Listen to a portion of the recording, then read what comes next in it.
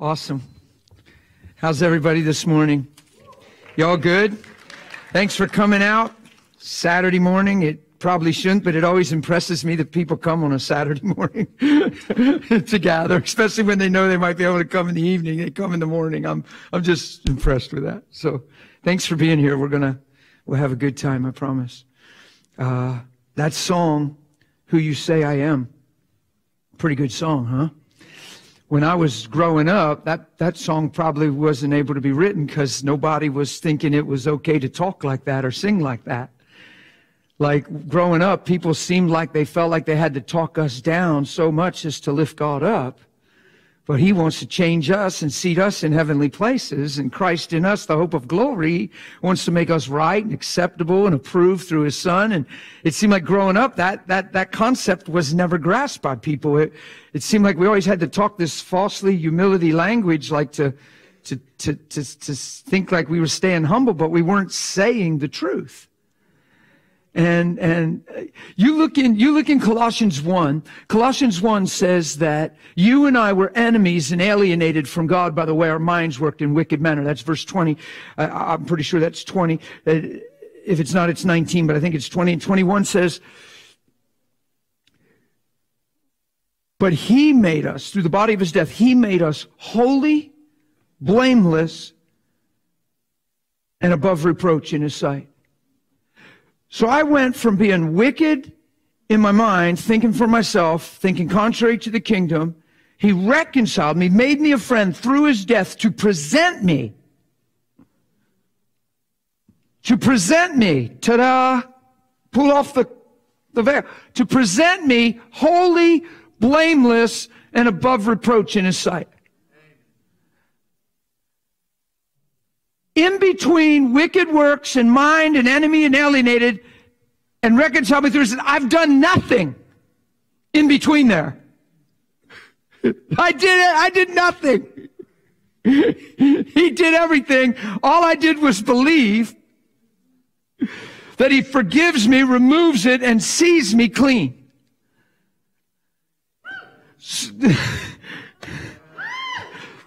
between enemy and alienated by wicked works in my mind, reconciled through his death, holy, blameless, above prayer. I've done nothing to change.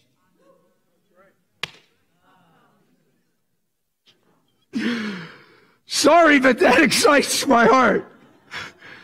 That God is willing to bring out the best in me by showing the truth about what I can be in Him and what He can be in me. And when I was a child growing up, that truth was suppressed in the church. At large, the message of righteousness was suppressed. Pastors didn't feel like they could preach this because they felt like people would say, oh, well, I'll do whatever. God will love me anyway. He, preachers felt like this would give us a permission to sin. This message, it's the total opposite. You see God for the beauty and the love and the goodness of who He is, and it changes everything, and it brings the best out in you. It, it taps into your potential. It causes you to trust and love and live in Him all the more. It's the goodness of God, not the reprimand of God. The goodness of God leads men to change. So that's the God I preach because that's the God I read in the Bible. It says he so loved me that he gave his son. It doesn't say God was so frustrated and at wit's end with humanity, he finally sent his son. That's a different thought. For God was so frustrated and exasperated For God so loved. And what's that look like? It looks like this on your darkest day. Grace is abounding even greater, not to empower sin, to save you from it. Grace is coming even greater on your darkest day, on your most willful adventure. Love is pursuing you saying, son, you're so much more than that. I know who you are from the beginning. I know what I intended you to be. I know what you can be, and I know what you'll be if you'll surrender. Love never fails, never changes its mind. Come on, be real with me. We've changed our mind on each other a thousand times over. We've changed our mind on ourselves. And love has never failed. We've left our hearts go up and down. God's the same. I love that about him. He's, he never changes. He's no turning, no shifting or shadow. I have confidence to be in his presence. Why? Because through the blood, he sees me every day, holy, blameless, and above reproach. I was getting to a point, the song, you, you say who I am. That's the song that I had blaring on my phone when I went into the bathroom to get my shower and clean up for this morning. I, I, I, I spent time in the Lord this morning and I had another little song playing the goodness of God in the, in the bedroom a little. But when I went into the shower, I, I started my day just getting that, that, that fresh shower and getting ready with you say, you say I am, right? Or this is who you say I am. So I'm singing that song in my heart and I'm like, oh my goodness, this is so good. I just can live every day and it never gets old in the reality of what you accomplished and who you see me to be and who you say I am. We're called believers, aren't we? Aren't we believers? So at what point do we believe we're clean, forgiven, free, righteous? Holy, pure, blameless, above reproach. At what point do you just say, I'm accepted in the beloved? Rather than, well, you know, I'm trying, brother. I'm hoping I'm getting there. Stop! Be there! Be there! Because you went from alienated and enemy by the way your mind worked, and it didn't say you even changed your mind in between the sentence. You didn't change your mind. He's changing your mind through his goodness. Yeah.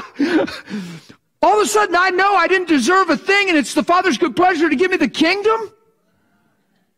All of a sudden, I know I did willful things. I did things against my conscience. I knew better and did it anyway. And I know all that. And God comes and judges me as if I never did any of that. Why? Because it doesn't solve a thing to stay there. It doesn't cause a change a thing to talk about it. So God is so wise. He says, let's just remove it. And I'll show you I'm willing to see you for today and your destiny. Because I know you can be more when I'm in you than you've been outside of me. You just think with me for a little on this. Don't get in a hurry and think we all know this. Because you can know it, but man, you can know it.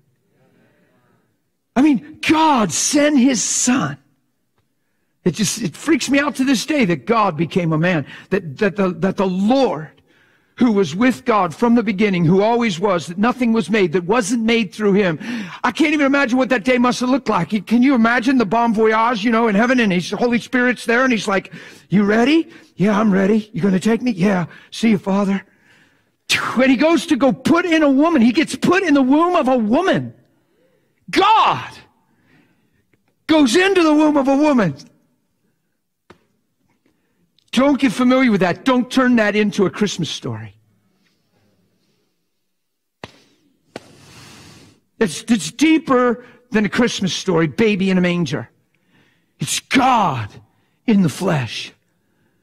God chose to sit in Mary's womb and come as a man and not take a shortcut. He didn't pop in the wilderness 30 years down the road, 30 years old, buffed and ready and empowered by the Spirit of God. Who is this man? Where did he come from? No. He started like we started in the womb of a woman. He came through the woman. He came as a man. Why? So God could, could, could fulfill through a man what a man failed. So he could defeat the devil through a man. So he could fulfill the law of righteousness through a man and then take a man's blood and put it on the mercy seat in the holy place and speak on behalf of all men in righteousness. Don't get familiar with that. That is not a Christmas story. That is a reality of heaven coming to earth and setting things straight. Why? Because he wants to redeem why we're here. This thing isn't about going there someday. It's about redeeming why we're here now that we're here. He must think a lot of who he is in our lives and who he can be and who our lives can be in him to pay the price he paid. Come on, nobody taught me this growing up. Nobody told me that the cross was redeeming my value. They always said he was just, it, it always pointed out my sin. The cross was always about my sin. No preacher ever told me the cross was about my value, purpose, and potential. So all I was was conscious of sin growing up. All I did was feel bad about Jesus down on the cross because I felt powerless to change and I had bad things in my heart and I felt bad about myself all the time. I needed you to like me because I didn't like me. And if you liked me, I felt like at least maybe I was possibly likable. So I lived like a lot of us lived, insecure and not sure, and as good as the moment provided. That all changed, I promise. Yay. and I'm not ashamed of the gospel. I'm not ashamed to say that he believes my life lived in him is worth the blood of his son. That is not presumption. That's not arrogance. It's not blasphemy. It's not heresy. It's the truth of the gospel. He hung on that cross to restore what he made man to be, to get the lie off of me, to adorn me in the truth, to get that old wicked thing off of me, get his life back inside of me. He is not waiting to take me to heaven someday. He came to live on the inside of me. You know, this thing is not impersonal and someday my name's going to get called. he moved back home. Sin evicted him from his home a long time ago. So he dealt with the problem and moved back in. And he didn't renovate the house. He made it new on the inside. I promise you, nobody ever taught me this gospel growing up, and I went to a lot of churches. And I'm not mad at people. I'm telling you, we didn't have a revelation like we have nowadays. Because the thing that I was taught back then made me self-conscious, sin-conscious, and at best, I was hopefully a forgiven sinner. At best. Same attitude, same anger, same fantasies, same flesh driven desires, same secrets, same busted up conscience, same judgments, same animosities, same jealousies, same pride. At best, hopefully, a forgiven sinner. And when I read my Bible, I'm supposed to be changed. I'm supposed to be walking in a manner worthy of Him without getting trapped in works. Why? Because I'm not trying to perform. I've become brand new. I'm not trying to be okay. He made me okay. He came on the inside and changed me. yeah? I'm trying to stay as calm as I can for you. I'm popping out of my skin right now. And I've been believing this thing for 23 years and it feels like yesterday.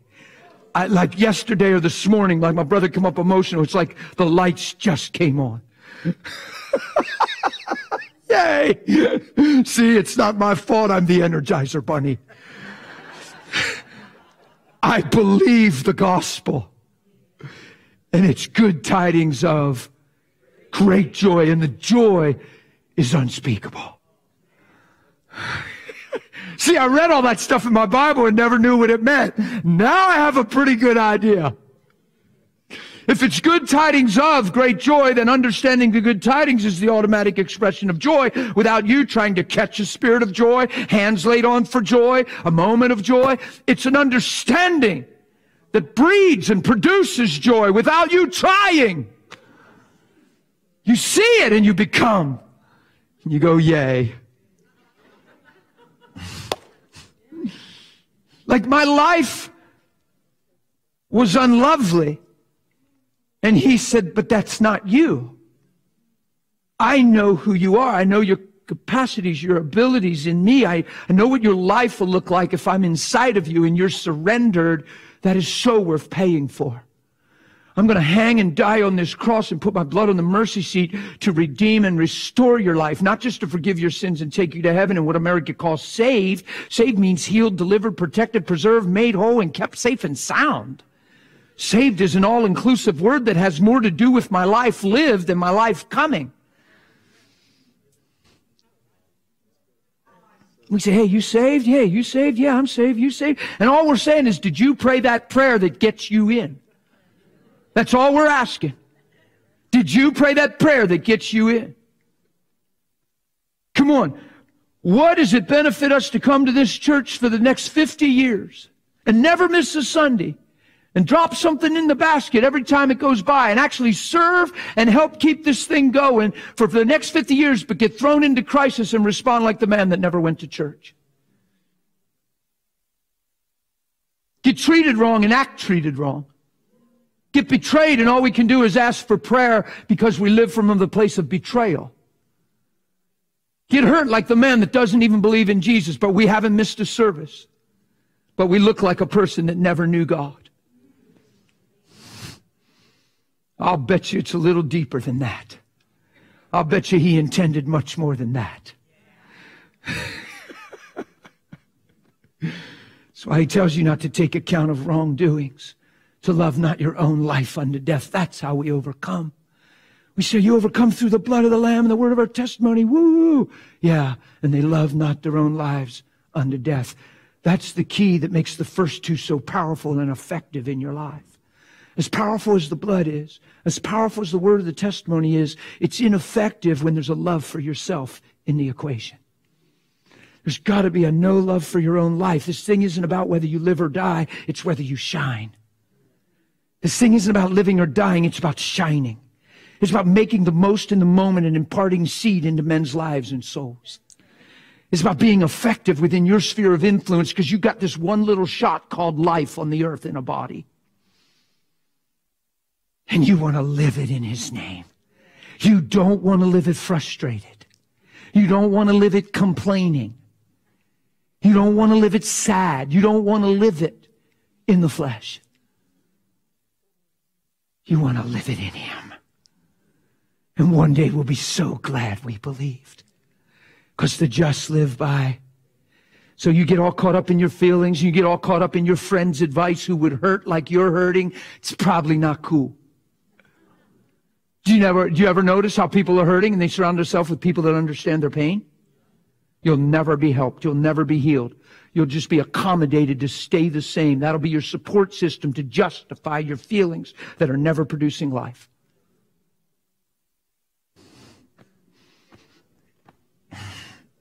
The last thing you need is surround yourself by to people that understand your pain and call it sensitivity. If my pain is quenching Christ in my life and causing me not to see why I'm alive today, I probably need different friends and advice. I probably don't need pampered and sympathized with. I probably need somebody to talk to me straight and say, listen, I'm not sure why you're letting this crush you so bad. I realize what they did, but how's that change you, your life, your destiny, your purpose, and your calling? No matter what they've done to you, no matter what they've said, no matter how they've surprised you and caught you off guard, you're no less anointed, no less called. You have purpose today. Don't let it get swallowed up by looking back over your shoulder because you're not Lot's wife, you're his bride. Now go ahead and shine.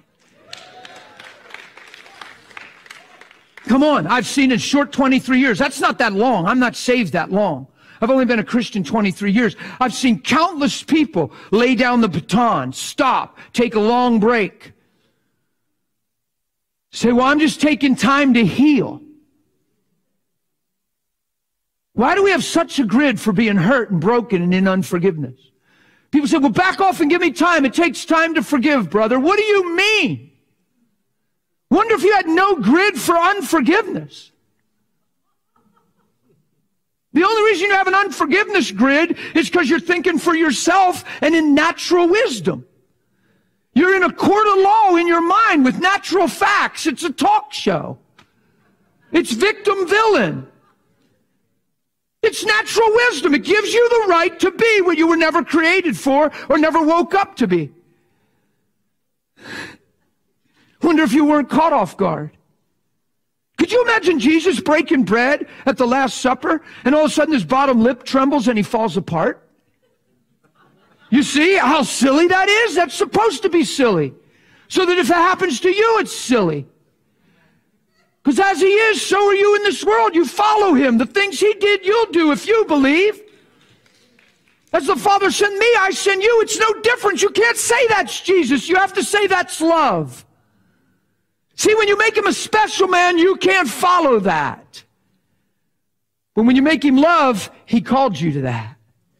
But if you say, well, that was Jesus, you make him unattainable, and he said, follow me, and Christ in you is the hope of glory. That is not blasphemy, that's the word of God. We get so tricked into following ourselves while we're singing, we're following Him, and we make our own human experiences our own reality, and now we can't even talk spiritual without being accused of denial. But wonder if grace is greater. Wonder if I can live different. Wonder if my past resume isn't the truth about my created value and wonder if Christ in me looks different than I used to. Wonder if I don't have to always stop, look, and listen, retrack, regroup. Wonder if I don't live in a crossroads Christianity. Which way do I go? Wonder if I just live in the way. Wonder if I just live by the Spirit and don't fulfill the lusts of the flesh. Just saying. You think it's possible? It has to be. Or he'd have never said, follow me. He never said the things I do you can do if you believe. You see? You see what the target is? What you believe is what's on the chopping block. That's the enemy's assault and attack and, and pinpoint. He knows the word. He's going after what we believe. So if you believe your own abilities more than his grace, if you believe your own track record more than your calling, if you lord men's experience over life change, you probably won't walk in what he paid for. I've had people in my short life say, well, yeah, but brother, you gotta be careful. I mean, I know so and so, and he was such a man of God. And just, I say, stop telling your horror stories. You're trapped following men. What does that have anything to do with what I'm talking about? Just because brother so and so was preach, preaching and he fell why does that become gospel? Of course, you can glean and learn from it, but don't let it take the place of truth. Truth is found in Him. So if I'm following something other than Him, I'm being deceived. Paul said, only follow me as you see me following Him. Paul said, I am what I am by the grace of God. Very humble statement. He's understanding no man has a thing unless it's been granted and given. So Paul doesn't want you to see him as a super Christian, just a believer. Yeah? Wonder if we stand before God and all we're guilty of is believing. Yay! It's going to be the best day ever. I judge and charge you, Dan Mohler, as a believer in me. Ah! Why? Because everything else will fall in place then. The signs follow a believer. These things to them that believe. It's all to the believer. So the thing that's on the chopping block is what do you really believe? And what you believe about yourself and what you believe about Him towards you is vital to you walking out your life in God. That thing I preached last night, you can't possibly live that on your own. You need Holy Spirit to be in your life, living your life for you. You can't just listen to last night's message and say, okay, I'm going to do that. No, you become that. I'm going to talk about a little this morning. You become that through prayer, through putting on songs like I am who you say I am, and you're starting your day in the bathroom, and you stop in the middle of brushing your teeth, and you start actually believing, wow, I'm righteous, I'm holy, I'm blameless, I'm everything you paid for. My goodness, I have confidence in your presence because you are my Father. That's a fun morning. That sure beats just praying to catch a break. I hope I have grace today, God. I got a lot on my plate. Work's going to be tough. I got that job I dread, and I got to work beside Billy, and you know Billy's a challenge. In fact, God, I'm questioning where your love is because I've had to work with Billy three times in the last four days. Uh, just for what it's worth, I'd like to work with Johnny now and then. Come on! And all of a sudden, our whole prayer revolves around our day going better in the way we hope it goes. And then at the end of the day, you're assessing your spirituality and your access and authority because none of your prayers are coming true. And now you're wondering what I'm missing and you're reading books on faith. I'm not so far off. And you got your fridge plastered with promises and it's all about blessing and not transformation. So when something goes outside of what you're believing for, you're shook. You're not shining. Come on. I've been around us long enough to know these things. And it's not that we woke up to miss God. I think sometimes we've been misinformed or uninformed. But I think in all our getting, we will get understanding and we'll go with it when we hear it. I've, i told you last night, I'm not talking to a room of hypocrites. I'm talking to his kids. So I talk boldly, and there's nothing I'm preaching that I haven't lived and walked in and experienced. He gave me that mandate a long time ago. You know what the Lord told me a long time ago?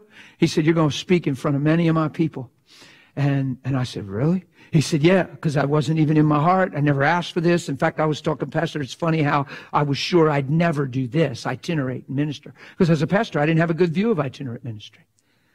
To me, as a pastor, almost all the itinerant ministers were trying to push in the door, fill their schedule, and wanted honorariums. So I felt like people were using their calling to earn a living.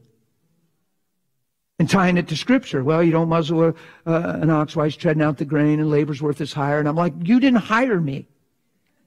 Let's stop misquoting all this scripture. We don't have, I didn't give him a contract, but I've learned that some people do do contracts. I'm here because I want to be. I'm not here for an offering. I'd be in a bigger church. I'm here because I want to be. I told this man I, am not even thinking honorarium. I got my own plane ticket. I said, no, nobody gets my plane ticket. I get my own plane tickets. Jesus will get me there. Why? Because I believe what I'm preaching. And I believe it can land in your heart and bring fruit. That's payday to me. He told me a long time ago, I don't ever want you to read your Bible to preach a sermon. This is the Lord told me. I don't ever want you to read your Bible to preach a sermon. He said, only read your Bible to know me and only ever speak out of who I am in your life, and that'll carry weight and authority. You see why I'm so crazy passionate? You see why I can't calm down? Because I'm not teaching my doctrinal belief and statement. I'm not here theologically. I'm not doing a Bible teaching. I'm sharing us. And I'm pouring out my heart and crying out and inviting you in. Because when your and my life is changed, our spheres of influence are impacted. When you go to the job with the right attitude, Jesus starts to be revealed. When you go to a job complaining, calling it prayer, complaining prayer, God, how long are you going to let me work here? Why do you have to, why do I have to endure my boss? God, he is so ruthless and so unjust. God, why don't you knock him off his high horse? And if you were really listening and not just complaining, you hear God saying, why don't you see him like I do? Why don't you love? Why don't you shine? Follow my son. Stop letting where he's not decide where you are.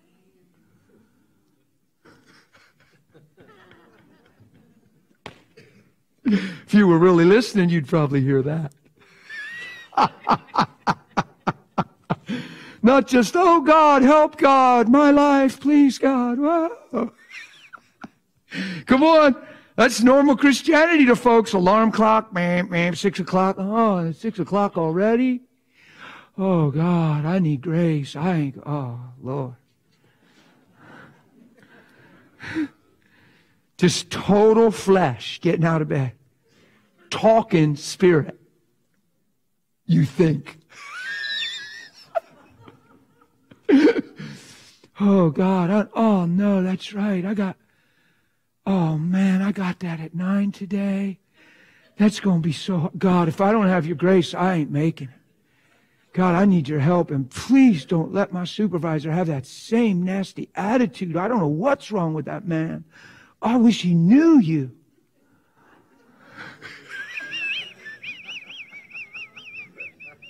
oh, this is getting serious right now. I mean, I invited him to church. I don't know why he never comes, unbeliever.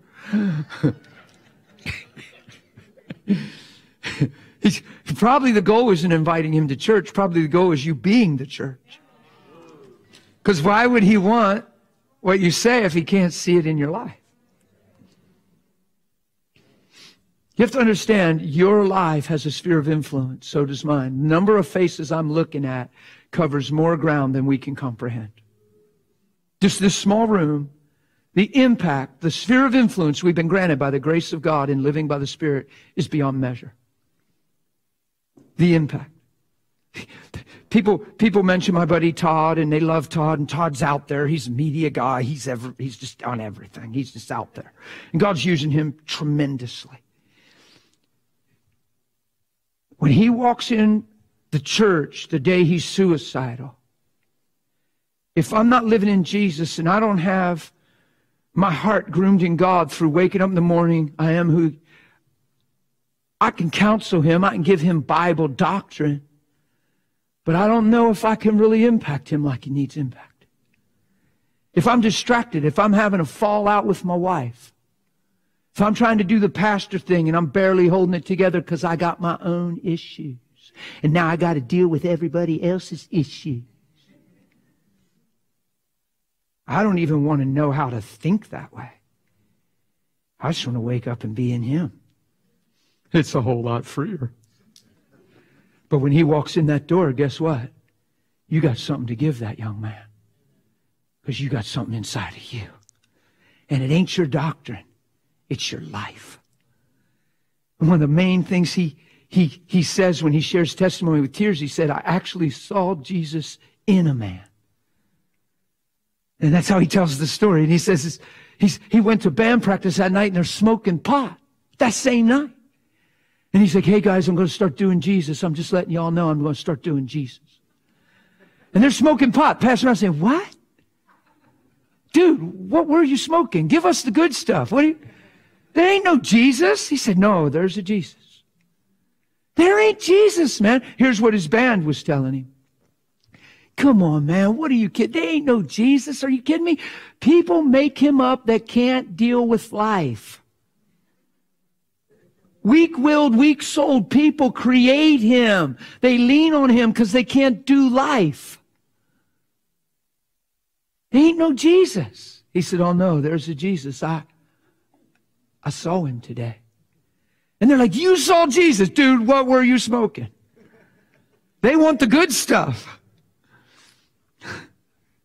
He said, No, I saw him. They said, You saw Jesus? He said, Yeah, he was in a man. That's what he told his band.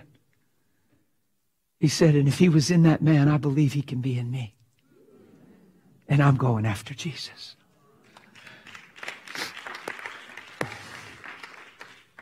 You know, he's so humble.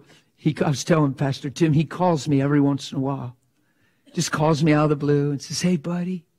I says, Hey, man. And he just starts crying. And I'm like, Are you okay? What's going on? Everything good? No, man, I'm just thankful. Just thank you, man. I said, What are you talking about? Like, thank you. You've done this 500 times. Just thank you for the gospel. Just thank you for giving me what you gave me, teaching me what you taught me. Thank you for being there, being ready, being there, man. Like, my privilege. You just never know the influence God's giving you in that moment.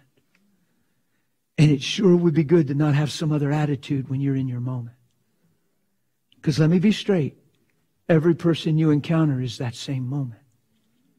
Because the kingdom of God is as if a man scatters seed. Not scatters strife, scatters seed. You get it? I wouldn't see the things I see when I'm traveling. I wouldn't be sensitive to the things I'm sensitive to if I was caught up in all this life stuff. It says, don't seek the things on the earth. Seek the things that are above in heaven, where Christ is seated, where you're seated with him. It says, don't seek the things on earth. Why? Because you died. You did not pray a prayer to go to heaven. You died. And your life is now hidden in Christ in God. So set your mind on things above. He writes to Timothy, Timothy, no one enlisted in the army of God ever again entangles himself in the affairs of this life. He says, endure hardship as a good soldier. I didn't grow up with any of that preaching. I grew up with, you better come to church. He paid this price to forgive you. You better appreciate it by coming to church.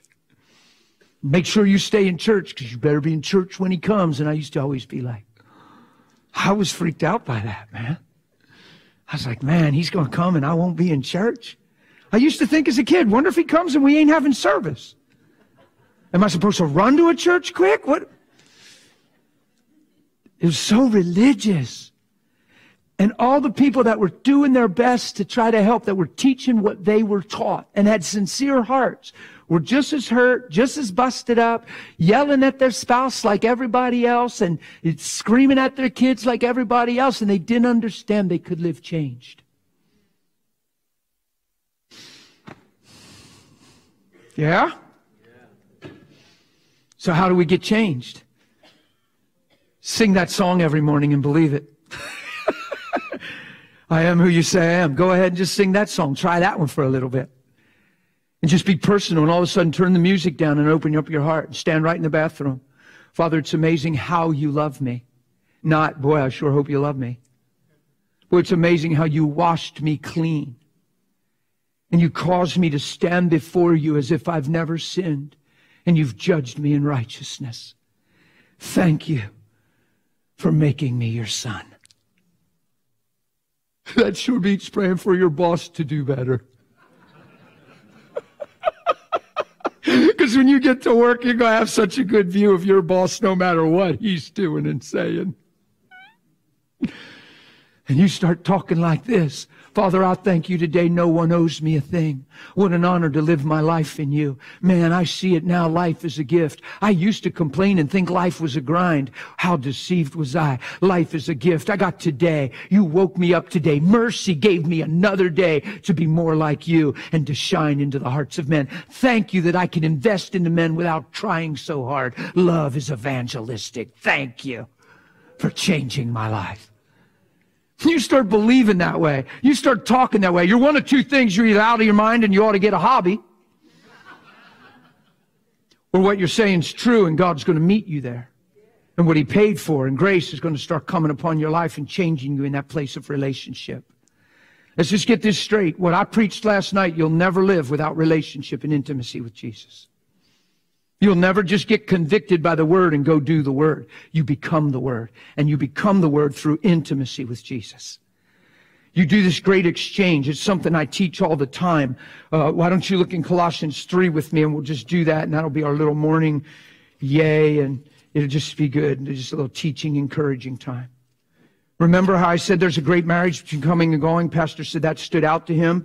I believe that as a pastor. I only local pastored for eight and a half years. I've been traveling since.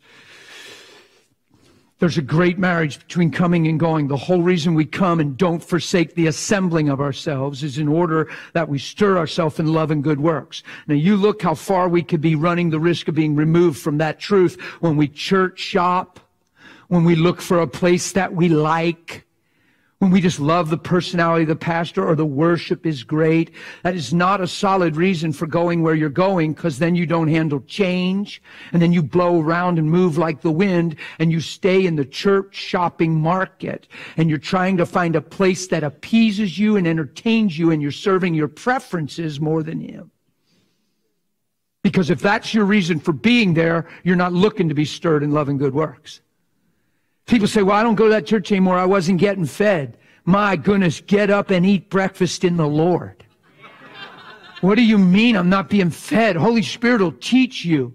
Don't go to church to be fed. Go to church to walk in love and encourage people. And yeah, people go to a church and say, well, I ain't never going back there. It wasn't a loving place at all. It should have been you were there. Do you see how we're always thinking for ourselves and getting tricked? How many people have you heard go test an atmosphere? They go visit a place to see if it's spiritual, see if it's lovely, see if it's loving.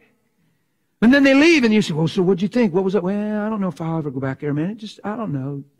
I sat over in the corner. Nobody really came over to me. It just didn't feel like I was real welcomed. I wasn't too loved there. If you go with that screen on your eye to test atmosphere, you'll, you'll come up with assessments all the time that aren't cool. If you're looking at men to see them for what they're not, you never judge with outward appearance. You judge with righteous judgment. You never read a book by the cover. That's why you never get to the inner chapters that are amazing. Because you already put the book to the side.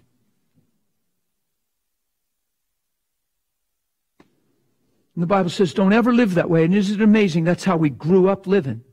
It's not an accident that we grew up living that way and we're never created to live that way. It's because there's perversity. It's called the fall of man. Isn't it amazing that all the things that we said growing up, you read your Bible and it's the opposite? Did you ever notice that stuff? That we were trained by a lie? That when you open the Bible, the things it says are the opposite of the language we were taught? You know, well, brother, you made your bed, you got to sleep in it. Well, if I were you, that'd be great, but I wouldn't get my hopes up. Well, what you see is what you get, man. None of those things are in the Bible. It's the total opposite. You know, God helps those who help themselves. What? Well, God works in mysterious ways. That's not a scripture. People think that's a scripture. People say, what, do you know any scripture? Well, God works in mysterious ways. I've heard that one my whole life. It's not a scripture. the Bible says faith is a substance of things hoped for. That hope, Hebrews 6, is the anchor of your soul passing through the veil into his presence. The Bible's saying, get your hope up.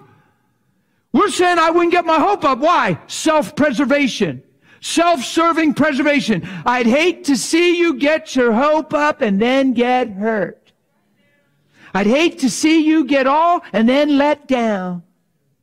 You say, well, yeah, brother, I found in my Bible, uh, a deferred, uh, defer your hope, it makes your heart sick. Deferred hope makes your heart sick. So why do you let your hope be deferred? So our answer is self-protection. Just don't get your hope up. That's already in a sick place. Because faith is the substance of things hoped for. When you live without hope, you can't live in faith. It's impossible to please Him without it because you're in a sensual world that you have to live by the Spirit. Now you're in big trouble. I hope I'm making sense to y'all. You're just kind of looking at me this morning. I don't know if it's good or bad because you all look the same. You're all just looking like that. Right there. It's funny. I just looked and thought, everybody looks the same. I'll just trust it's okay. It's just, what you see is what you get. Everybody's heard that phrase in their life. The Bible says, don't ever live by what you see. It's subject to change, and the things unseen are eternal. And we grow up, what you see is what you get. We try to get spirits and say, well, brother, you made your bed, you sleep in it. You know, you reap what you sow. Well, I reap what I sow when there's no repentance. But once I repent, I begin to reap what he sowed. It's called redemption in the Lord. So he made a brand new bed with clean sheets, probably ought to get in it.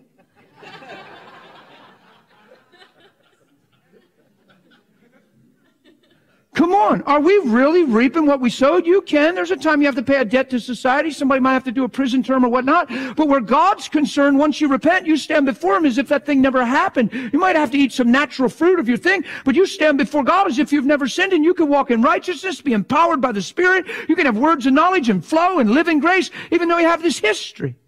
Why? Because you're not reaping what you sowed. You're reaping what He sowed and it's greater. Yeah? I just asked this question this morning. How do I handle the condemnation of what I've done to my family in all those years of ignorance? How do I handle what I did to my child when I was parenting them in fear or frustration or anger? And now that I'm saved and I see what I've done to my child who's in their 20s, and every time they fall, I know if I'd have parented different, they wouldn't be that, I believe, which you have no guarantee of that. But I understand what you're trying to say. What I'm saying is at what point do you fall on the mercy of God and say, thank you, Father. If you don't judge me for where I've been, then where I've been, I don't want to see judge my child anymore. And I thank you, your grace is sufficient and swallows up in redemption. Your redemption is greater than my failure 15 years ago. God, I thank you. You're doing a work across the board in my family and you're cleaning up things, God. Thank you for who you are. But I'm all in. I'm living this thing now. And what I was isn't what I am. And what I did isn't going to be what it is. I thank you for changing things even where my children are concerned. Yeah? You're weeping in your bedroom and you're saying, God, if I knew what I knew now, I wouldn't have parented like I did then. God, thank you for not letting my child eat the fruit of my ignorance in that day. But God, even though I see them going in this vein and that vein, thank you. Your grace is greater. You're tracking them down. You're wooing them in their sleep. You're putting people in front of their life. And God, I refuse to be afraid. My countenance is going to shine. I'm not a condemned parent. I'm not a judged parent. I'm a filled with the Spirit parent. I declare victory over my children. And I thank you, God. And then you go to work and you ain't wearing that thing. Why? Because you're in faith, not denial. You believe. You're not ignoring the situation. You've addressed it.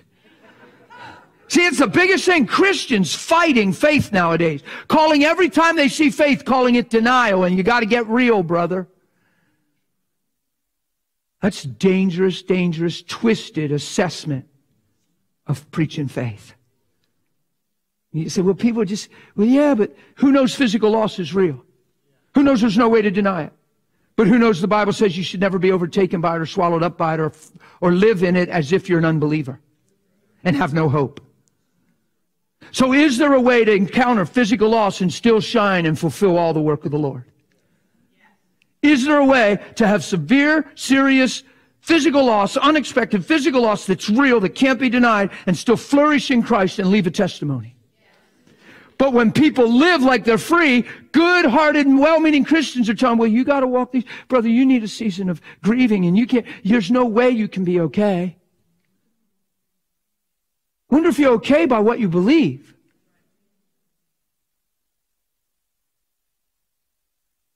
Wonder if you, wonder if you're okay because you believe. And all of a sudden we're calling belief denial because we're lording our own human expressions above the possibilities of grace. And we're comparing ourselves among ourselves, and it ain't wise. You with me? Wonder if you could be more like him in that moment. Wonder if you could actually follow Jesus in that moment. Wonder if you could actually live in thankfulness with zero complaining in that moment.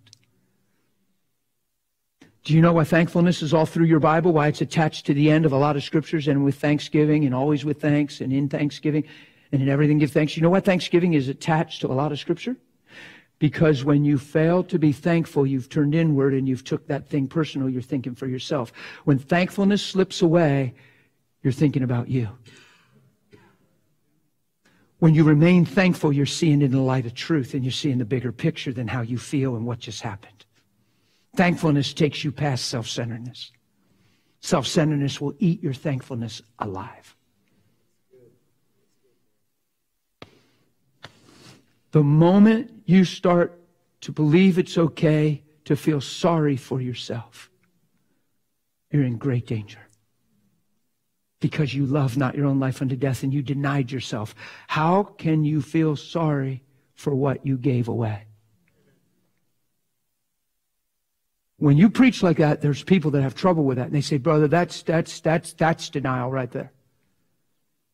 You, you show me one person that ever felt sorry for themselves and produced the kingdom of God and shined in light. You show me one person that ever was sitting feeling sorry for themselves and manifested the kingdom.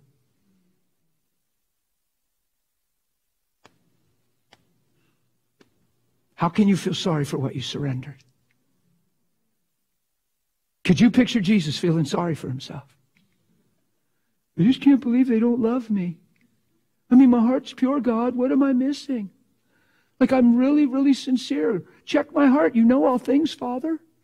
Like, I mean, if I'm ministering you, your love, why can't they see it? Why don't they like me? I hear their thoughts. I wish you wouldn't let me hear them. They're hard to deal with. Like they think I'm a demon possessed Samaritan. They think I work on behalf of Belial. I mean, I'm life. I'm standing. You saw it at Lazarus' tomb, life standing right in front of them. And all they could do is worship death. They couldn't even see. I don't know. Sometimes I just feel, I don't know.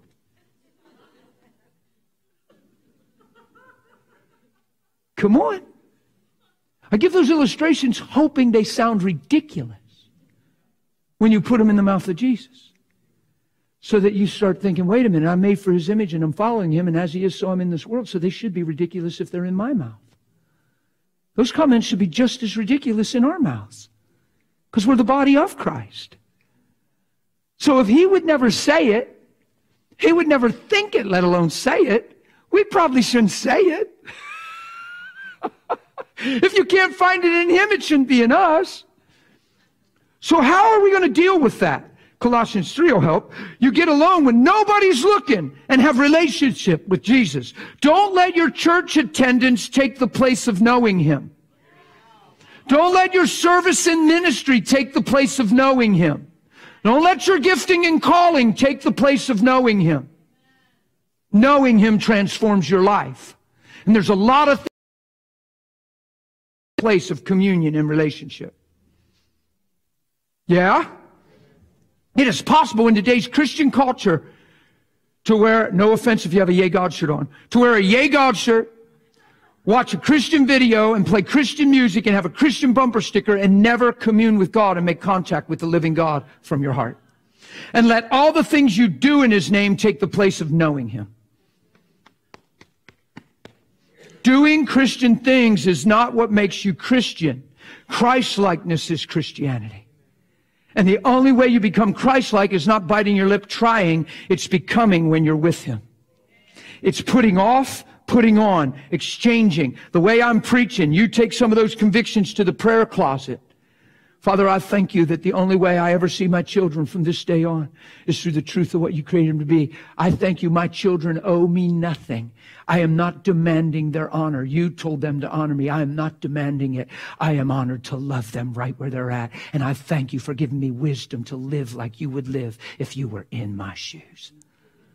You start talking like that to the Lord and watch how you start conducting yourself within your family. And all of a sudden your children don't have the ability to get on your nerves and frustrate you because you got new nerves in prayer. And all of a sudden it ain't about where they're not and what they're doing and that boy and that child and I can't, and I fed that boy, that boy nursed, I nursed that boy. And then he want to talk to me like that? boy, I raised you. I'm your mother. Don't go there, mama. Don't go there. It'll never produce the righteousness of God. You're demanding his respect. Don't go there. Who in this room ever just had God come and manifest with his hands on his hip and tear you up and shout you down? And you showed up in church quick because he scolded you. It ain't happened to one of us. Well, we've done it to each other, haven't we? Us dads, man. We, we stay quiet sometimes for a while, but when we, when we talk, okay, boy, I had enough. Now you listen to me good.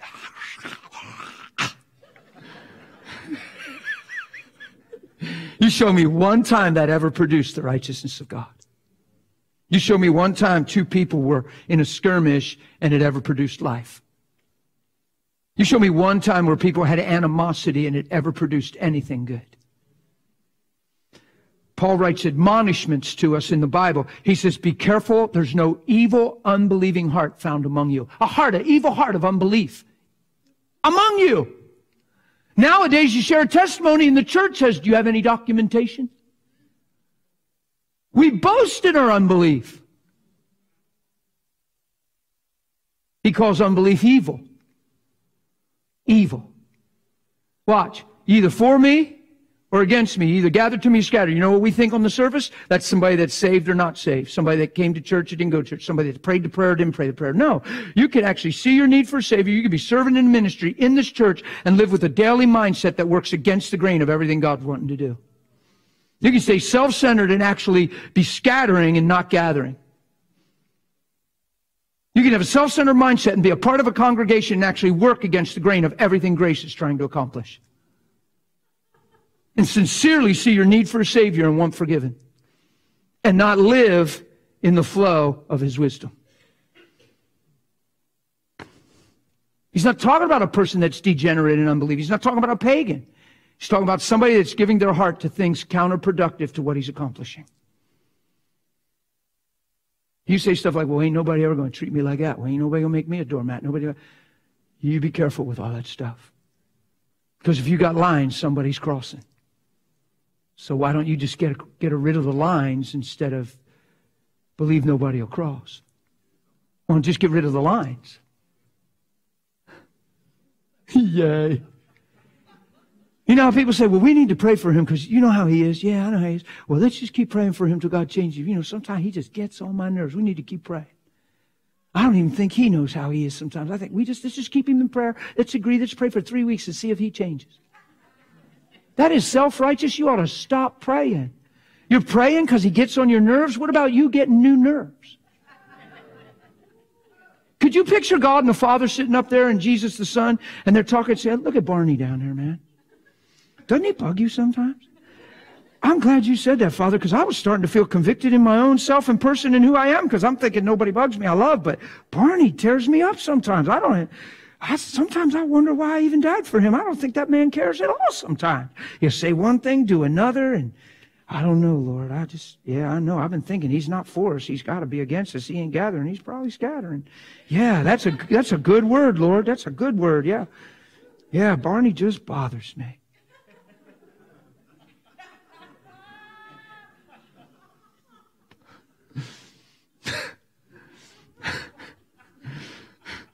Ain't that something? You can't picture that conversation? You can't picture God and the, the Son talking like that? Looking down at your life, oh, oh, there she goes again. Now there she goes again. Now you know she knows better. Oh, I know she knows better because I sent Holy Spirit and told him to tell her this, and he did yesterday. And she heard it because I saw her stutter. Right in her motion, she just stuttered and she stared because she heard it. Holy Spirit was on it, man. He convicted her, and there she is doing it anyway. That says where she stands. I'll tell you, I'd just forget her if I were you. That's what I'm doing. You in? Yeah, let's forget her.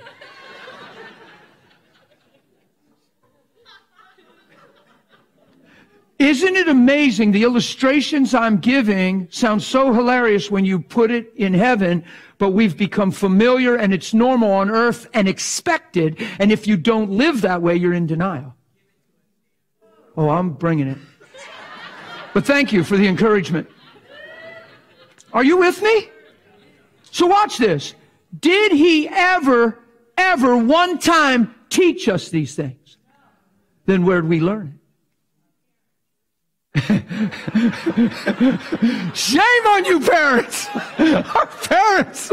Where'd we get this mentality? I can understand from our parents, but where'd they get it? The fall of man. It's called the fall of man. It's called the wisdom of the world. It's called the way that seemeth right. And see, that's the problem. It seems right. And it's hard to locate sometimes because it seemeth right. But its way always, Pastor, leadeth unto death and destruction. Jesus never one time taught us these attitudes. So where'd we learn them? From the fall of man. Every one of us, Romans 5, were born into Adam and you must be born. And we turn born again into a prayer we pray to go to heaven instead of a life we live because of him. Born again is brand new life. It's not positional. It's not just positional.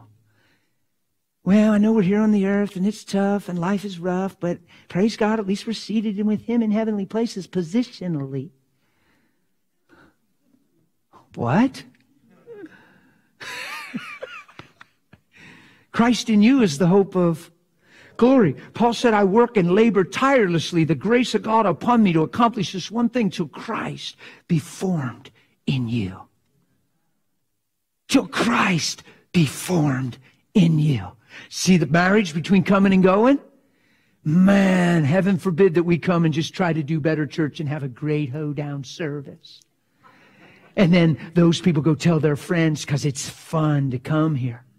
Next thing you know, we got the room full of people and it just looks like we're having a great time. But if we're not being formed in Christ and going out and living our life in the light, Man, I've pastored a church and all of a sudden the way I preach, I preach like this and found out people still sleeping together in the church that weren't hooked up and married. It's common. I've been in supernatural schools some big name schools, and they cry their eyes out when you confront sexuality because the students have slept together at times. But man, do they do worship. Man, do they wave them flags, and can they ever dance?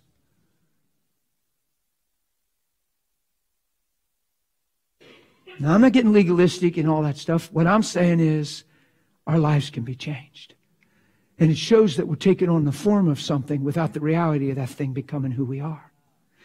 Because I promise you, with intimacy and fellowship with God, you can't live certain things that you've lived when you have fellowship with God. When you're in intimacy with Holy Spirit and communion with the Lord, it's a protective place. It, you can't do two things at once like that. Are you with me? I'm just bold about that. You can shout me down all you want. You can write whatever you want. There ain't no pastor in the world that ever slept with some woman in his congregation that was having intimacy with the Holy Spirit.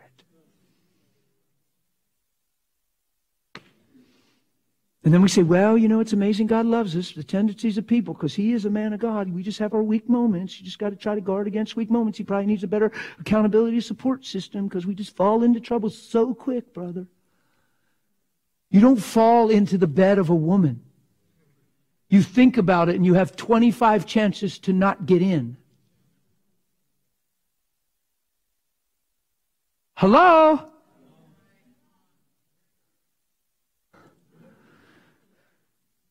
Let's stop soft pedaling this thing and somebody needs to get real. If you're in communion with God and you're seeking first the kingdom of God, you're not even thinking about being in the bed, let alone having the capacity to get in. You're not even thinking about getting in, let alone the capacity to get in. Why? Because He's Lord in your life. And you've communed with Him and you've met with Him in the morning and you walk with Him through the day.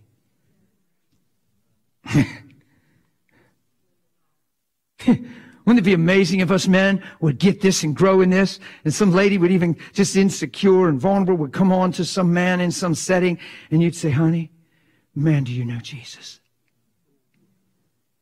He's my best friend.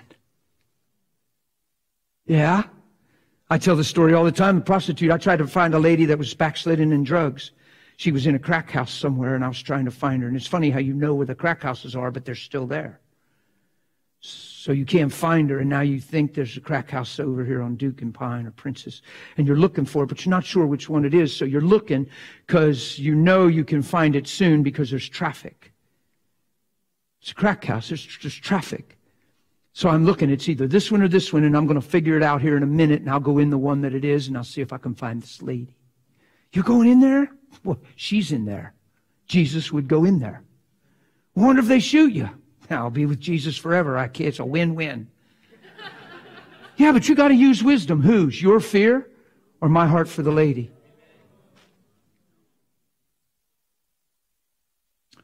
God shows up fourth man in the furnace when you're not afraid of anything and you won't compromise. He doesn't always put out the fire. He just makes sure he's there. And you're not bound in that place that's burning hot. And when you come out of it, nobody can tell you were there except the increased passion in your life. Because there's no singeing, no smell of smoke, and nothing's burned. I'll stick with the gospel. So leave me alone. I'm going in there. Yay. So while I'm waiting, to figure out which one's it, this precious lady peeks in my window and says, Hey, honey, what are you doing in this part of town? She's soliciting me so she can stay high. I should care about that, people. I shouldn't be tempted by that. I should care about that. I'm here to help set her free, not be accommodated by her, a little quick sexual favor for 20 bucks or something in that day, and move on. Are you kidding me? She's in desperate dire need. She shouldn't even be a remote temptation to me. Even if she says tonight's free, nothing's free. Your conscience pays a price. And so does your ultimate life and destiny. Ain't nothing free. Everything has a cost. So what do you do? You snatch her by the wrist and she don't even know what you did, and you know she's either packing or has a blade, there ain't no way she doesn't at least have a knife. She's a city girl. She's a prostitute. She's in the city. I grew up there. I guarantee you she had something on her person that could hurt me if she chose to. But you snatch her by the wrist and you don't let her go. And she's cursing you and telling you to let her go, and she's calling you very bad names. And you're crying profusely. And you're telling her, honey, you're asking me the wrong question. What am I doing here? The real question is, what are you doing here? Because if you had any idea who you were, you wouldn't be doing what you're doing tonight. Get off me. You don't even know me. I said, I know you. I never met you. I know you. You don't know me. And I told her she was born before time she was seen. There was a time to be born. She was born by the will of God. She has a destiny, predestined to be adopted as his daughter. The fact that you're standing here reveals to me your life is the will of God. I said, I'm going to let you go. Please don't run. I need your help. I let her go, and she didn't run. So I told her what I needed. I said, Don't play me. I know you know her. You girls know each other. I have to find her.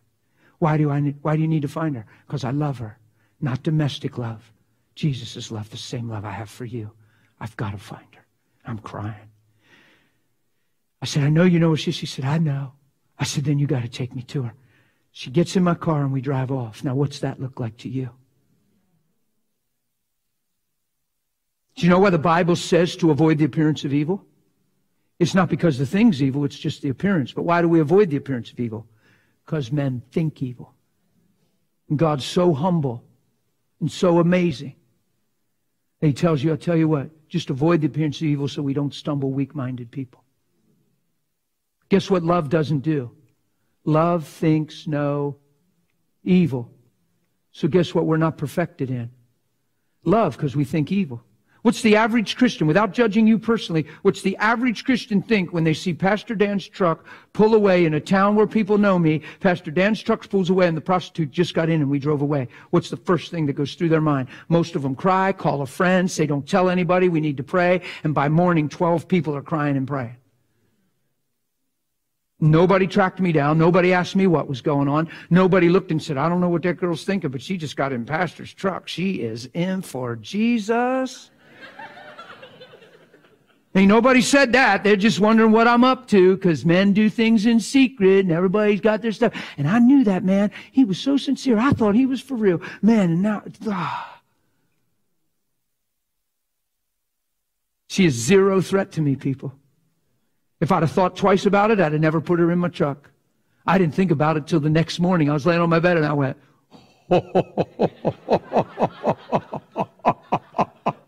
I thought I'd put this lady in my truck and drove away.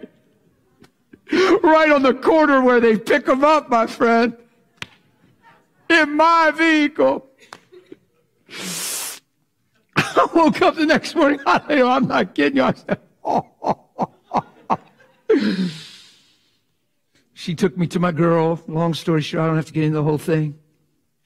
But ain't it something that we live in a day where you can't even do that in the law of love because we have to make so many other rules? Because so many people have done so many inappropriate things and people will judge it and think evil and stumble.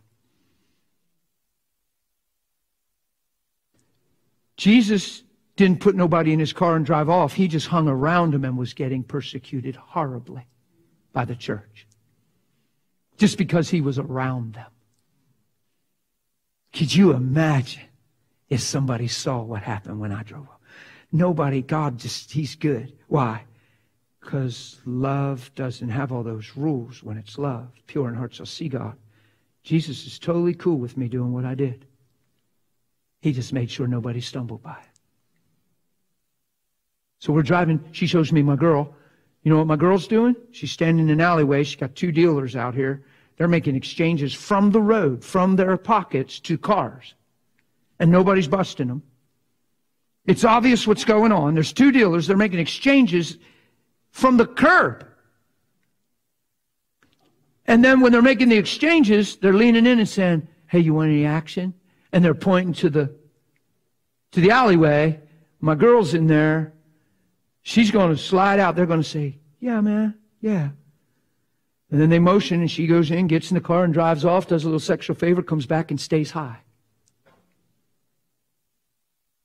And you think that ain't going to make me cry? You think that's a remote temptation?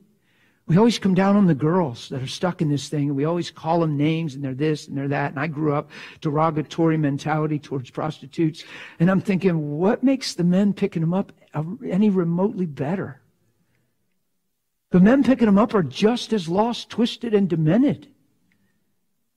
The men that are facilitating it are just as out of order. They're on the earth to give them truth and give them Jesus, not take advantage of their demise. Why do we always come down on the girls and call them cheap and easy and loose? And why aren't the guys just as bad? They need Jesus desperately. if you wouldn't have the guys in the arena, the girls would have nowhere to work. The guys are just as at fault. You know what they'll stand before God on if there's no change or repentance? For not being there in the, in the, in the avenue they were created for, and not helping a woman in need, but obliging her twist, facilitating it, instead of giving her Jesus. Well, I got her in my car. That's a good thing. No matter what you think at this point, I promise you it's a good thing.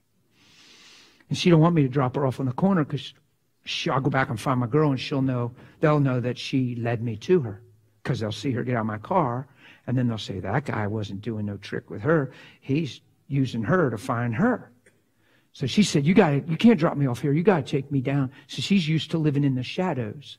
She's used to living in the dark. And, and so, so guess where she tells me to take her? I said, well, where do you want me to drop you, honey? She said, pull me into that alley. There ain't no lights. Well, how's she know that alley? That's where she takes everybody. So I ain't afraid of that alley. Let's go. We got in that alley. I said, Hey, before you get out of my car, I want to talk to you a little. I want you to tell me why you do what you do. She cries. She says, My babies. I got to feed my babies. I got to take care of my babies. I said, Honey, you could work at Walmart and take care of your babies. You have an addiction. You need help. And I said, I just want to pray with you. Can I please pray? She said, I'm talking freaked out. I'm talking back against my truck, spazzing, freaking. Why do you care? Why do you care so much about me? Why do you care? I'm talking dramatic beyond what you can probably picture freaking out. Why? First time in her entire life she's ever been valued and loved. She's always been used for what she could give a man. Always felt run down as a little child. Zero esteem or she wouldn't be addicted. Addiction is always rooted in low esteem. Always. I know that sounds psychological, but it is. Addictive behavior is always connected to a low value and self image. So people live up to the low level in which they see themselves. Are you with me? So she's freaking out. Why do you care? Why do you care? I said, because I know who you are. You keep saying you know me. You don't know me. Let's go through it again, honey. I know you. And I told her who she was in him.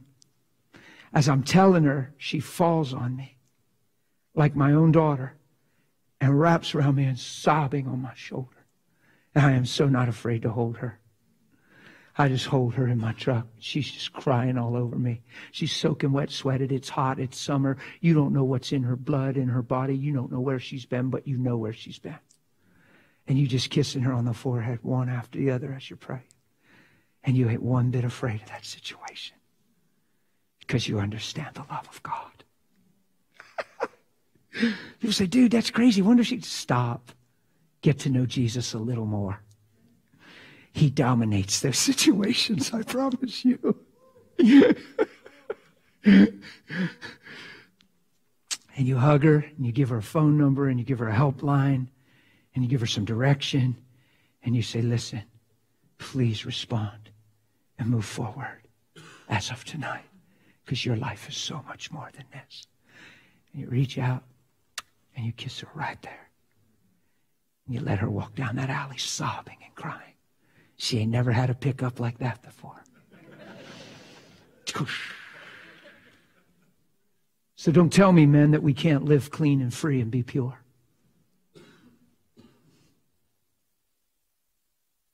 The more you value yourself, the more you'll live in Him. The more you see the value of your life in Jesus, the more you won't give yourself to the things that were so far off. Any man that's born, bound in pornography, I promise you this, any man that's secretly bound in pornography has no clue who he is, or he wouldn't be entertained. He doesn't know who he is. And once he starts seeing the value of his life, calling, and destiny, this thing will have a different appearance and it'll lose its luster. And he will have a whole different take on it and a whole different heartbeat towards it when he knows who he is. Are you with me? So how's that take place? I got to quit. Oh my goodness, it's that late already? What'd you guys do? Worship like an hour or something? Isn't that Adam? You know, it's the woman you gave me. It's the worship team. No. Let me read this real quick and then I'll try to make a point here. Your life will never transform outside of relationship and intimacy with Jesus. I said it how many times? I'm saying it again because it's vital. Without this, you won't have a clean expression this way. You've got to have this to have this. Loving God with all your heart, your soul, and your strength and your mind. And the second commandment is like it, and you can hang all the law and the prophets on it. And love fulfills the law because it does no harm to a neighbor. You love your neighbor as your self. So it's very, very important to see the love of God and begin to love God through His first love and then get a healthy view of yourself by seeing yourself the way He does. It's not vanity. It's not boastful. It's not proud. It's a healthy view of you through Him. It's how He sees you through His Son. That's who you say I am. Now you have a good, healthy view, and for the first time maybe in your whole life, you actually begin to love yourself and value yourself without it being weird and vanity. And all of a sudden, you look through those new eyes, and all of a sudden, what you see in you, you realize is the same truth concerning everyone. And all of a sudden you love your neighbor as yourself because you understand the gospel and you go, wow, I finally see the value of people. They don't bother me anymore. My days of crying because of men is over. I'll begin to cry for men because if they knew who they were, they wouldn't live what they're living. My heart has found a place of mercy. Why? Because of truth. And it made me free all of a sudden I see people. It's why I do what I do. It's why I flew here. Because I wanted to. I just wanted to. I, I, I, could be a lot of places right now. I got invites. I could be anywhere. But I'm here because I want to be. I never asked you how many people. Did I? I never asked you for finances. I didn't know where I was coming. I just knew I wanted to be here. Somehow I knew you'd be here. And here you are. We've been so jaded by life. There's a catch to everything. Everybody got a string attached. What's in it for you? Wonder if the gospel is pure. Wonder if none of that has to be. Even if it's out there in church land, even if it's in itinerant ministry, don't you decide whether it is or not. You just live upright before Jesus and don't let what men don't see decide what you do see. Don't be hurt by stuff. Don't let a bad impression mark your heart. If anything, learn from it. Yeah? I had someone in my life when I first got saved. I actually gleaned and learned from a person that, that, that was more of a teach me what never to do than teach me what to do. So rather than get hurt by it, I gleaned from it and said, okay, I'm going to flip this thing and this is teaching me what to never be. My dad drank as an alcoholic, drank terribly. You know what I decided as a young man in my heart? I see the hell and pain it's bringing to my family. I see how it's trashing his own life and how he's no capacity to give one ounce of love and he's caught in this thing. I determined I'm never drinking. I'm not going to be one of the people, well, I just smoke pot because my parents smoke pot. Probably a good reason not to. Well, I just grew up with it, man. I just grew up around. I just drink because everybody drank at home, man. So that's why I drink. Probably a good reason to say, why would I? Why do we always just sell so quick and so cheap? We learn from this stuff. I'm trying to do this. I don't think I'm going to be all right to do this. I'm going to try to do this quick. Let me read it. Let me just read it. Colossians 3. Use this, please, use this little section of scripture as a barometer in your life. You can use it as even a trigger point, an invite into more intimacy and fellowship, into a putting off, putting on kind of prayer. You can find the same language in Ephesians, put off, put on. When he says put off, put on, he's not talking about works. He's not talking about knock it off. He's talking about put it off in prayer. Get, the only way you can do it is put it off in prayer because you are what you are by the grace of God. It's not about, okay, you shouldn't do this, you should do that, you shouldn't do this, you should do that. Who knows? Christianity is not just a bunch of set of rules. One of the reasons young people uh, uh, run away from church at a young age is because it's just another set of rules. One reason I believe there's so many young people gravitating to the kingdom right now and coming to the gospel is because they're understanding it's not a set of rules. It's a relationship. It's an identity they receive. It's a life they can become. They have actually have a lot of inspiration in this thing now because they can become something and live something that's real and viable, inspired by the person of Holy Spirit. And a lot of young people are pushing into the gospel because they're seeing it finally for what it really is. More than I've ever seen before, young adults, college age, teenagers. I have parents email me and say, my teenagers ask us to put you on at night. We say, hey, do you want to have movie night? What do you want to watch? They said, put on Dan Mohler. I get that, that email more than I can remember. Parents testifying that their teenagers want to hear these messages because they're going, wow, Christianity isn't what I thought. Ain't that cool? Duh. So if you or if I were raised in Christ, that means since we were raised in Christ, seek those things which are above. Colossians 3, verse 1. Where Christ is. What are we seeking? The things above. Where Christ is, at the right hand of God. Set your mind on the things above, not the things of the earth. So he knows our minds are going to want to go here and there. He's telling us, listen, you got to fix your mind here, man. You got to keep your mind in the things that are above. And he explains it. Watch. For you died and your life is hidden with Christ in God. And when Christ, who is your life and my life, appears, then you will appear with him in glory. Therefore, because this is true, put to death he didn't say moderate, control, and find a healthy balance. He said kill life in this arena as you know it. Didn't he? Put to death is different than manage. Come on. We've been lulled to sleep if we're not careful. Everything we grew up being, we think is normal. It's all perversion. We've studied a fallen man and say, this is me. We're to be looking to Jesus. There's a new me. That thing that I was growing up is not who I was ever intended to be. And I can be changed by the Spirit of God and the working of grace.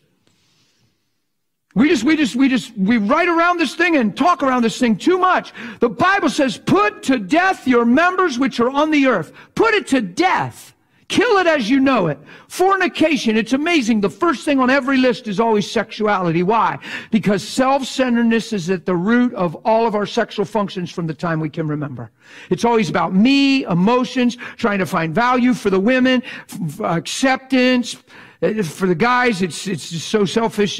Without Jesus, it can be selfish with Jesus. Unfortunately, it's it's just He said, "Put to death your members which are on the earth, fornication, uncleanness, passion, evil desire, it's all, and covetousness, it's all idolatry. It's making something matter more than what matters most. And because these things are on the earth, the, the wrath of God is coming to the sons of disobedience. That means those who keep living this way without regard. In which you all were. That's why you're not proud and self-righteous. We were all in this boat. We all lived in this arena at some level. When we lived that way, we were counted that way, but now we're different. That's what he's trying to say. But now, but now, now, you yourselves, it's not an altar call, it's not a prayer line. You yourselves are to put off these things anger, wrath, malice, blasphemy, filthy language out of your mouth. Why? How do I put to death that list and put off that list without running the risk of getting into works and failing? I have to do it through truth and it's in prayer. I have to put away self-centeredness. All those things on that list function through a self-centered motive. Did you ever think about this? The emotions you grew up with are not what God made you to be. Did you ever, ever have somebody say, well, God gave us emotions, brother? Not the ones you grew up with, he didn't. Don't give him credit for them. Come on. God did not give you the emotions you grew up with. Adam gave you those. And all your emotions were hinged on a self-centered wellspring. It was you thinking for you that created your emotions. Nobody had to teach you to be angry. It came by instinct. He's telling you to put it off because it wasn't from the beginning. Nobody taught you to be jealous. It came naturally. You didn't have to study to be disappointed. You didn't have to take a class to learn insecurity. We were all in this thing. From the time we can remember, we needed stability, acceptance, we needed honored, we needed loved, we needed appreciated, and a lot of us didn't get a lot of those things. So at a very young age, you were nothing more than how you responded to how it went down. And that became your identity. And it's time to get born again and put off the old and put on the new. You can't be saved and keep saying, well, you don't know what it was like when I was growing up. Well, brother, that's fine for you to say and that works for you, but I had a rough upbringing. What's your upbringing have anything to do with your life now that Jesus has come? Separate the two. Don't even let it make sense to your mind. I asked the Lord a long time ago, I said, Lord, please help me with this because, because I'm seeing it everywhere I'm going. Why do people cling to their past, their story? Why are so many people writing books? That's my story. And there's no real, real good redemptive punchline. It's just all I've been through. Why are people's so gripped on their past? Why, why do they always talk about then instead of now? He said because it's the only place they've ever found a sense of identity, whether good or bad. And they cling to it because it's where they find who they believe they are. But when you get in Jesus, you get brand new. You get a whole new identity. You're fulfilled in Him. You know the love of Christ. You're filled with all the fullness of God all of a sudden it doesn't matter if you've been touched wrong. It doesn't matter if your dad never loved you. It doesn't matter if your mom was mean and using drugs. It doesn't matter if she put you up for adoption. None of that matters. What matters is there's a time to be born and here you stand and God saw you from the beginning and he has great destiny and purpose for your life. And you can't let where a person's living decide the value of your life. You got to let who God is decide the value of your life. You can't let a dark season in a woman's life called biological mother rob you of value for the rest of your life because she was lost. Hello? And we let this stuff make sense and we sympathize with it and we talk around it. Why don't we go dead on at it and smash it and get it out of our language? You with me? So you're going to put it off. You're going to put it off. What's put off these things look like?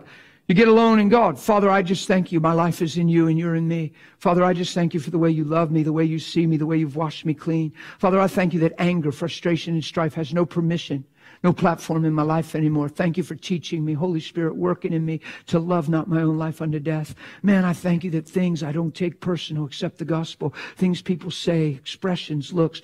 Man, I rejoice in the freedom that no one owes me a thing today.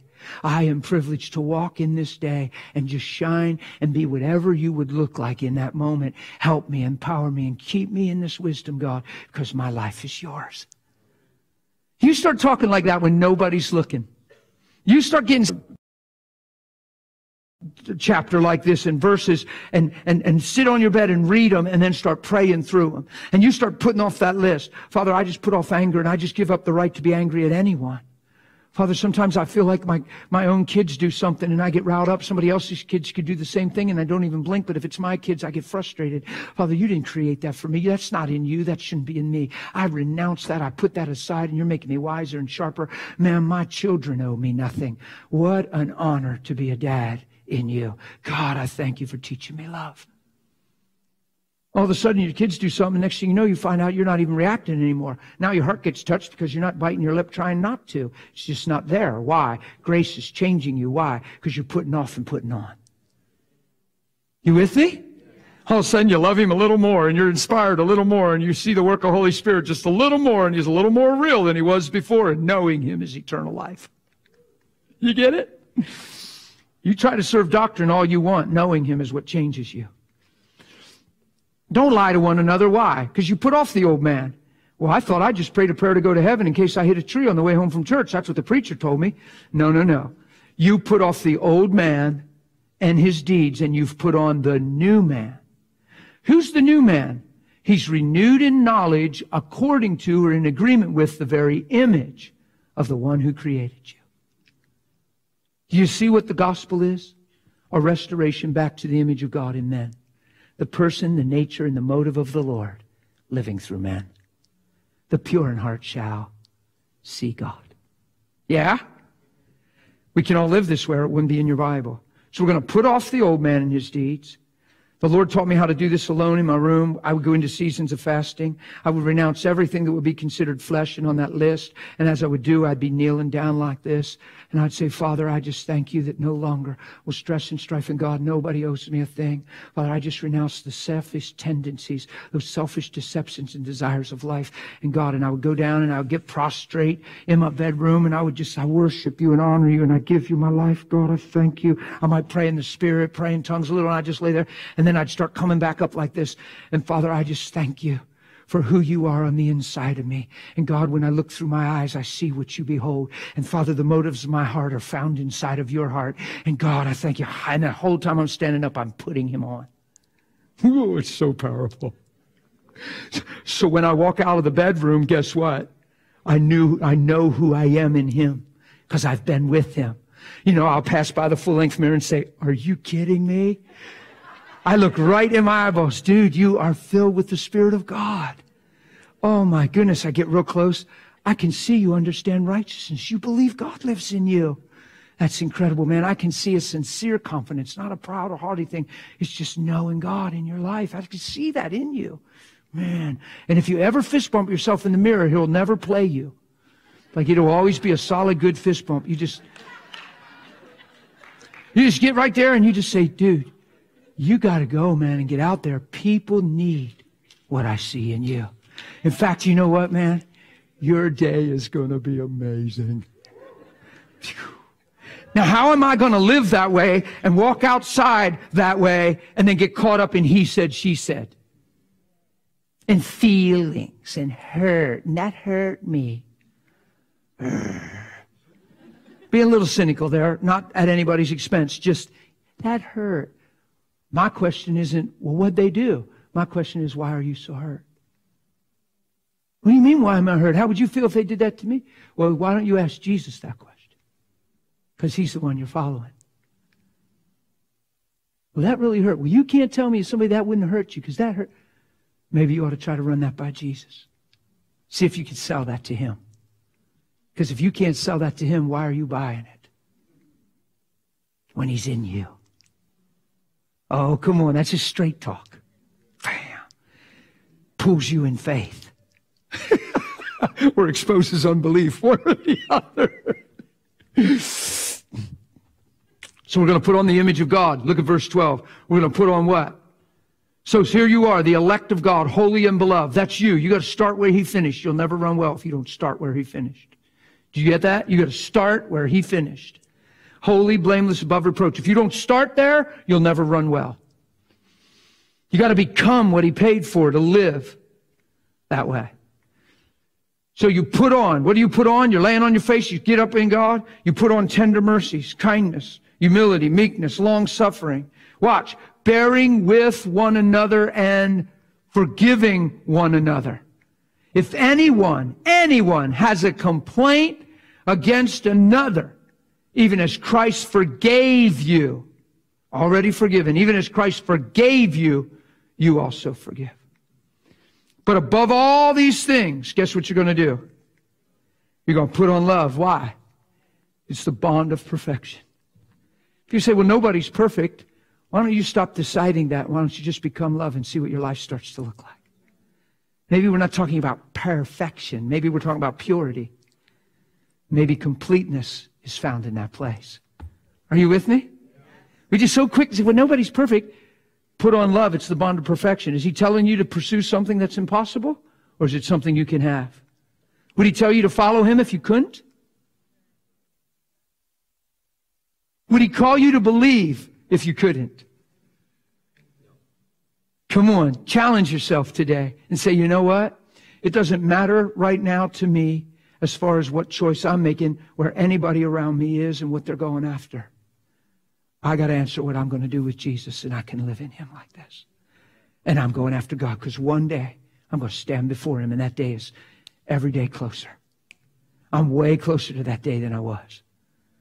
And you will make every day count in that place. So that one day I stand before Him and look into His fiery eyes of love and whatever that's going to be like. And you're just going to be glad that you believed, that you didn't take account of suffer wrongs, that you didn't have issues, that you weren't forlorn and hurt by an individual, that you didn't let one person decide your life unless it was Jesus. Everybody in this room has that privilege.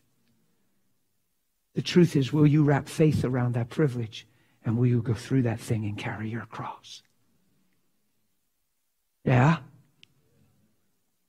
If you're willing to live that way, just stand where you're at right now. And don't stand because you need to stand because it looks good. If you're willing to live that way, stand to your feet. Please. If you're saying, I want to live this way, I'm going to stand to my feet. I'm not having an altar call. I just want you to stand. And if you're saying, I don't know, brother, you, even if you stand, it's, it's, it's okay. What I'm saying is, I want sincerity to stand up in this room and say, Pastor, I hear what you're preaching. I believe we can live this way. And I'm giving my heart to this thing and I'm asking for grace. Your heart's before God. He knows. You can't play games with God. So why would you play games with your own soul? Father, I just ask with, with hearts standing before you that great grace would come and seal this message inside of us.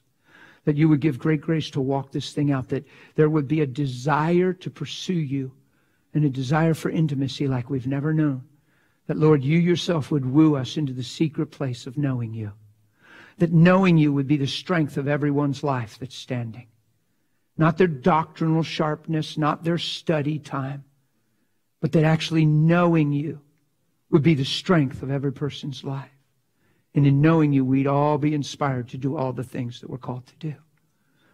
I ask for unshakable, unwavering conviction, God, in every person. And I pray that not one other factor in our lives would be able to dictate what we've set our hearts to that you would always grant us grace and give us wisdom in every moment, every challenge, to stay in the straight and narrow of truth and love the whole time. I pray that love would be perfected in us. If you want to, just if, if you want to, just lift your hands with me as a sign of yielding to God. I want to pray something about becoming love. Paul said, I have no right, no need to write to you, Thessalonians, concerning the love of God, for God is teaching you himself. He's taught you himself how to love. I want that in my life. So with hands raised, God, we just say, Holy Spirit, would you continue to come and teach us how to love because we want to become love. We don't want selfishness in our life. We don't want to be reactionary. We don't want to read a book by the cover. We want to see men through your eyes. We want to see people for value, destiny. The way you saw our lives when we were lost, we want to see men's lives no matter what. And we're asking you to perfect us in love and form love in us and let grace abound on this behalf, God, that we would be fashioned in the heart of God. The people would know you because they've known us. The people would get a good look at you because they've got a good look at our lives and our lives have been changed. Lord, if there's been discouragement in this room, I pray you swallow it up today, that you call things even and you call things brand new.